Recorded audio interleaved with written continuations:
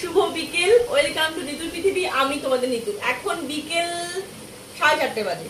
ভেবেছিলাম যে যে ভিডিওটা আমি একটা করছিলাম, সেই ভিডিওটা হয়তো দিতে পারতাম। কিন্তু এই গত দুদিন যে পরিমাণ বৃষ্টি হচ্ছে, আমি যেভাবে দিতে পারব না। কারণ রোদ্দুরে উঠছে না। আর আমি যে জিনিসটা তৈরি করেছি এখনই বলব না কি সাসপেন্সটা খারাপ হয়ে যাবে। তো সে রোদ্দুর ছাড়া সেটা আবার কমপ্লিট হবে না। তো কি করব? ঘরে থেকে কি করা যায়? ভাবলাম যে একদম ভিডিও যদি মিস করে, তাহলে তো মুশকিল। তো তার জন্য কিন্তু আজকে কি করব? আজকে তোমাদের ঘরে থাকা কয়েকটা জিনিস দিয়ে বানিয়ে দেখাবো।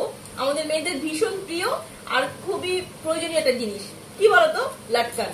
মানে ব্লাউজের সঙ্গে বা কোনো লেহেঙ্গার সঙ্গে, যে কোনো ড্রেসের সঙ্গে যখন পিঠে থাকে না, পিঠের সঙ্গে যে বাঁধে না পেছনে ব্লাউজের সবাই জানো, যারা মেয়েরা সবাই কম বেশি লটকান চেনে। তো আজকে আমি তোমাদেরকে একটু ডিজাইনার লটকান বানিয়ে দেখাবো ঘরে। আর ঘর থেকে কয়েকটা জিনিস দিয়ে তো তার জন্যই আমি এখন বসেছি। আর বাইরে কিন্তু যে বৃষ্টি হয়ে যাচ্ছে তো হয়েই যাচ্ছে। জানি না যে আমার তৈরি করা জিনিসগুলোর কি হাল বা কি হবে। তো যাই হোক, মনটা খারাপ নিয়ে শুরু করছি কাজটা। একদম মিস করতে চাই না কোনোভাবে ভিডিও দেওয়া। তার জন্য কিন্তু আজকে আমি তোমাদেরকে লাটকান বানিয়ে দেখাবো। খুব চটজলদি আর খুব কম সময়ে। যদিও বাজারে লাটকান তো কিনতে পাওয়া যায়, কিন্তু ঘরেও তৈরি করে নেওয়া যায়। একটু সময় লাগে, কিন্তু সুন্দর করে কিন্তু যদি তোমরা চাও, তাহলে কিন্তু নিজের ইচ্ছা মতোই লাটকান তৈরি করে নিতে পারো। চলো তাহলে শুরু করি। আমি নিয়ে নিচ্ছি একটা পিঙ্ক ডার্ক পিঙ্ক কালার কাপড়। আর আমার একটা ডার্ক পিঙ্ক কালার ব্লাউজ রয়েছে, যার সঙ্গে আমি এটাকে মানে লাগাবো যা বাঁধবো, যে সেই ফিতের সঙ্গে ব্লাউজের তার জন্য কিন্তু আমি এখন লটকানটা তৈরি করতে বসেছি। আর তো যাই হোক, চলো শুরু করি হ্যাঁ?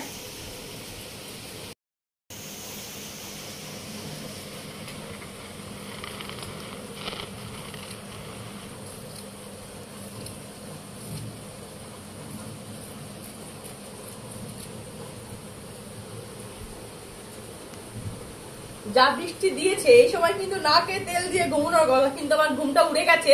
আমার কত কষ্ট করে শখ করে জিনিসটা তৈরি করলাম। দেখো, এমন বৃষ্টি আর সময় পেল না। ভালো লাগে না ছাতা।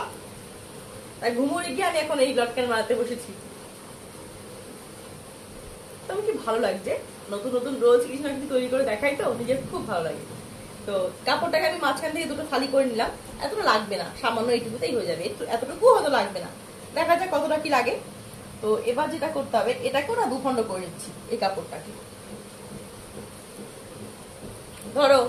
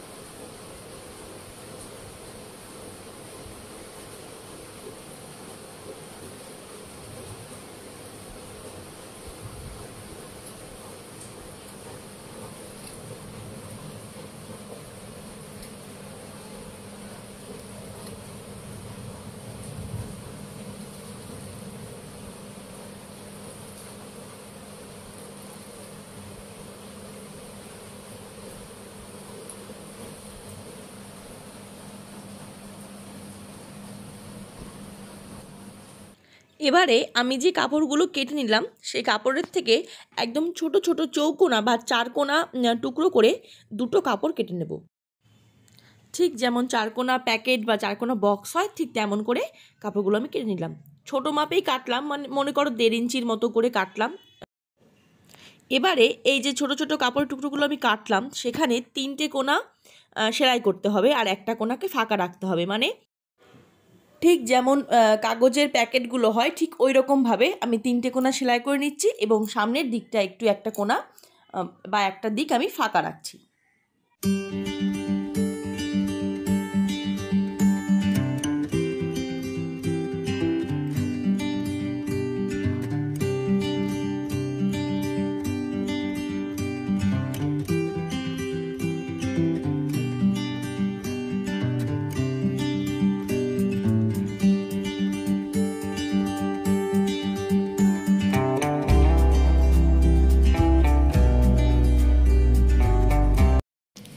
তো এই দেখো বন্ধুরা, আমার তিনটে কোনায় সুন্দর করে সেলাই করে নেওয়া হয়ে গেছে।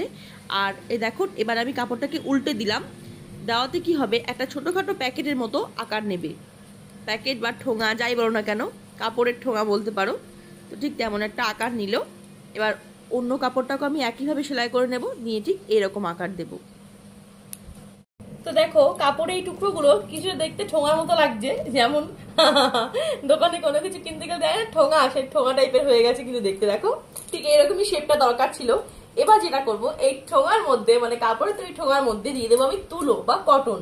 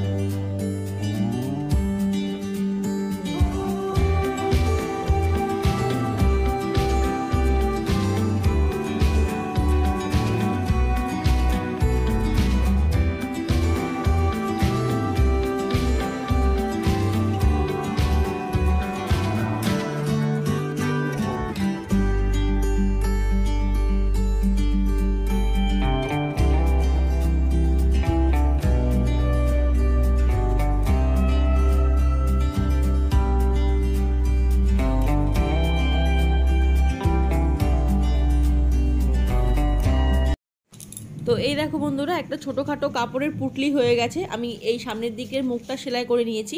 যে দিকটা আগে ফাঁকা রেখেছিলাম, সেই দিকটা। তো অপরভাবে ওইটাও সেলাই করে নিই। তো দুটো পুটলি সেলাই করে নেওয়ার পরে আমার কাছে রয়েছে সাদা রঙের পুঁথি। তো আমি একটা একটা করে পুঁথি, এই পুরো পুটলির চারিধারে মানে চৌকোনা যে পুটলি হয়েছে, চারিধারে একটা একটা করে পুঁথি গেঁথে নেব।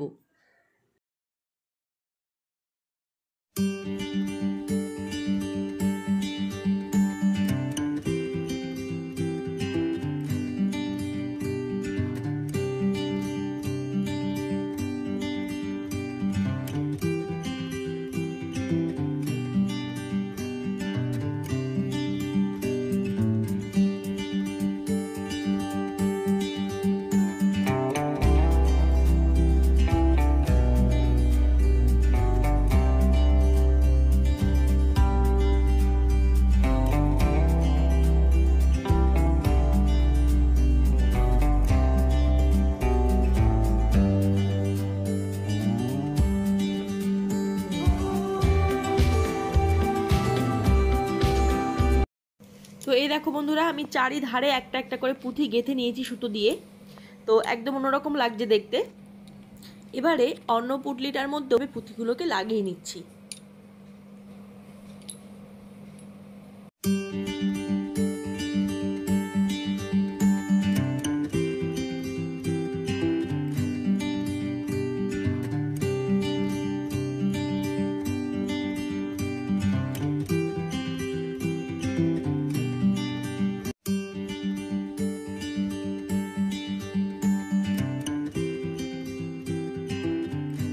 দেখো বন্ধুরা আমার কিন্তু দুটোই এই কাপড়ের পুটলি বলো বা বল বলো সেটা কিন্তু তৈরি করে নেওয়া হয়ে গেছে এবং চারপাশে কিন্তু পুঁথিও লাগানো হয়ে গেছে। এবার আমরা যাব সেকেন্ড স্টেপে তো দেখো আমি নিয়ে নিচ্ছি বেশ কিছুটা কটন হাতে। নিয়ে আমি এরকম করে লাড্ডু যেমন লাড্ডু পাকায় ঠিক তেমন করে পাকিয়ে নিচ্ছি। যদিও পাকছে না অসুবিধা নেই। তো আমি একটা কাপড় এরকম কোনার দিকে রেখে এটাকে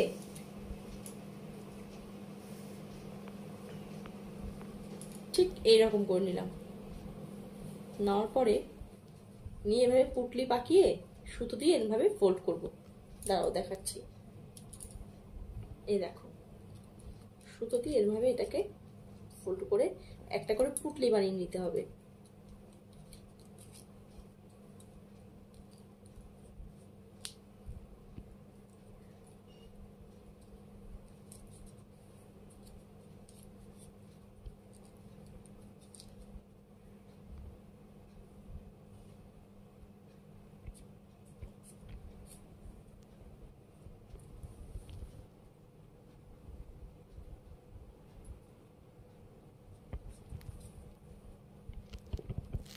ঠিক এইরকম। তারপরে ক্যাচি দিয়ে আমি কেটে নিচ্ছি। তো বন্ধুরা, একইভাবে আমি এরকম ছোট ছোট করে দশটা পুটলি করে নিচ্ছি, কারণ আমি পাঁচটা পাঁচটা করে লাগাবো এক একটাতে। আর জানো তো, এইগুলো তৈরি করতে করতে আমার ছোটোবেলার কথা খুব মনে পড়ছে, কারণ ছোটোবেলায় আমাদের গ্রামের দিকের বাচ্চাগুলোদের কথা বলি, শুধু আমার একার না, অনেকেরই, অনেক কেন সব, প্রায় সব বাচ্চাদেরই একটা সময় এরকম ছিল। তখন তো অনেকটা আগেকার কথা বলছি।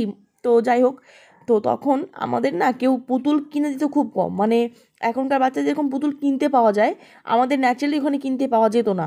আর গেলেও সেটা কখনো কোনো মেলায় বসতো, হয়তো মেলায় কিনে দিল, সেটা তো সারা বছর থাকতো না, নষ্ট হয়ে যেত বা কিছু একটা। তো তখন আমরা কি করতাম, আমরা কিন্তু কাপড় দিয়ে এই রকম ধরনের, এরকমভাবেই কাপড় পাটকাঠি দিয়ে আমরা পুতুল তৈরি করতাম।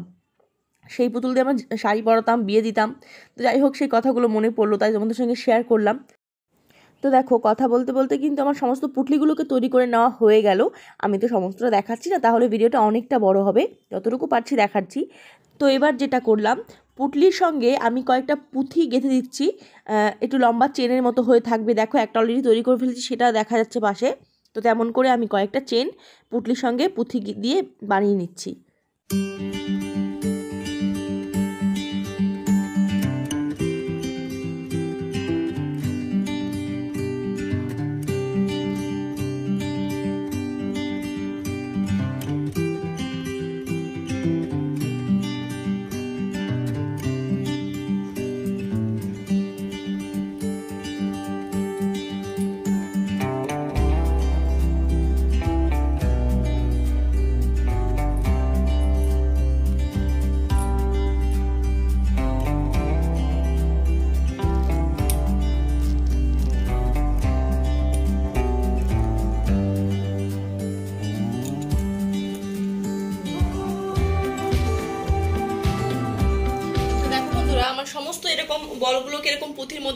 সঙ্গে গেঁথে নেওয়া হয়ে গেছে।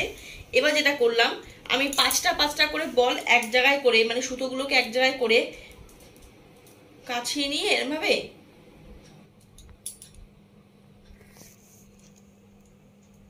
একটা গিট দিয়ে দিলাম। আমি এখানে দশটা বল করেছি, যাতে পাঁচটা পাঁচটা করে ব্যবহার করতে পারি। এই দেখো, ঠিক এই রকম।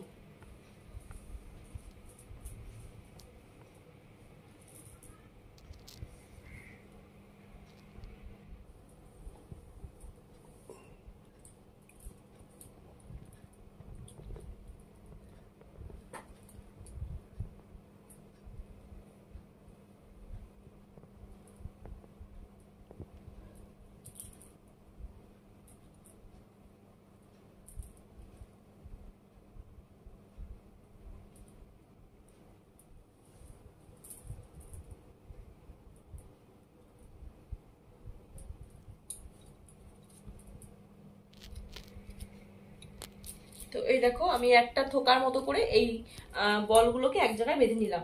তো এবার যাব থার্ড স্টেপে তো যেখানে আমি সমস্ত সুতোগুলোর এক জায়গায় গিট দিয়েছিলাম, সেই গিটের মাঝে একটুখানি, তো সেই গিটের মাঝ বরাবর সুচটা গলিয়ে আমি এটাকে এক জায়গায় গেঁথে নিলাম সুতোর সঙ্গে।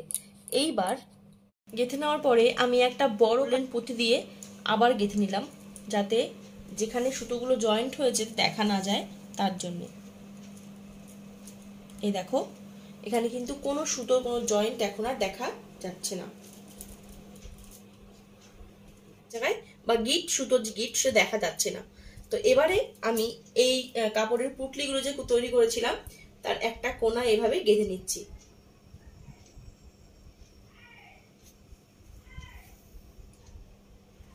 ঠিক এইরকম ভাবে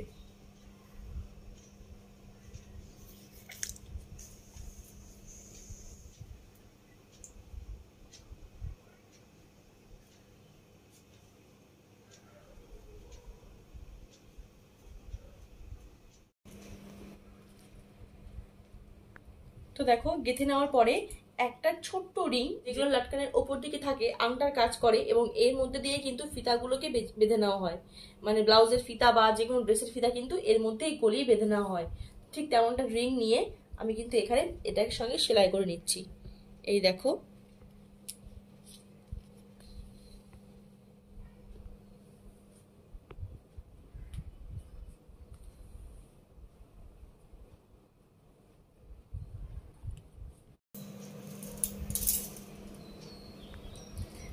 দেখো বন্ধুরা ফাইনালি আমার সারা দুপুরের যে কাজ করলাম, সার্থকতা পেল।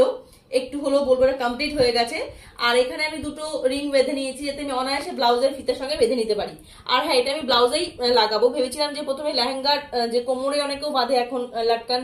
কোমরেও ফ্যাশনেবল খুব চলছে। কিন্তু কোমরে লেহেঙ্গা, আমার লেহেঙ্গাটা তো খুব গর্জিয়াস তো মনে হয় কোমরেটা বেশি এক্সট্রা মনে হবে। তাই এটা ব্লাউজেই লাগাবো। আর আমার একটা খুব সুন্দর গোলাপি কালারের ব্লাউজ রয়েছে, আমি সেটাতেই এটা লাগাবো। তো দেখো কত সুন্দর মানে কি বলব, আমার কাছে খুবই ভালো লেগেছে এটা। ভাবিনি এত সুন্দর, দ্রুত কমপ্লিট হয়ে যাবে।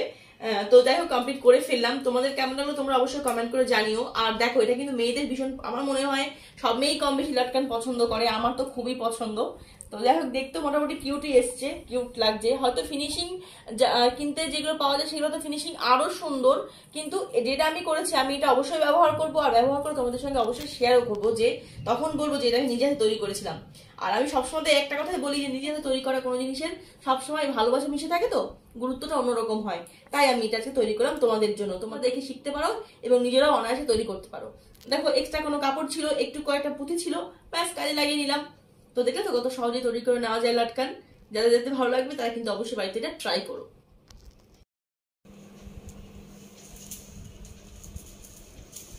আরে, পড়ে যাচ্ছে কেন? তো চলো বন্ধুরা, আজকের মতো ভিডিও আমি এখানেই শেষ করছি। দেখা হবে নেক্সট ভিডিওতে যদি আমার ওই জিনিসটা শুকিয়ে যায়, তাহলে ওই ভিডিওটাই একবার দেখা করব, না হলে এটা অন্য ভিডিও তৈরি করতে হবে আবার। তো যাই হোক, চলো, আজকের মতো টাটা, দেখা হবে খুব শিগগিরই সামনে একটা ভিডিওতে, ততক্ষণ তোমরা সবাই খুব ভালো থেকো, সাবধানে থেকো, আর সুস্থ থেকো, আর ঘরেই থেকো। আর যদি সময় থাকে হাতে, আমার মতো, আমার তো খাওয়া দাওয়ার পরে অপরন্ত ফাঁকা সময়, সেই সময়টা আমি এটা কাজে লাগালাম। একটা সময় সময়টা কাজে লাগিয়ে আমি এটা বানালাম। যদি তোমাদের সময় থাকে, যদি কারও ইচ্ছা করে, তাহলে কিন্তু অবশ্যই এটা বানাতে পারো। তো চলো, টাটা।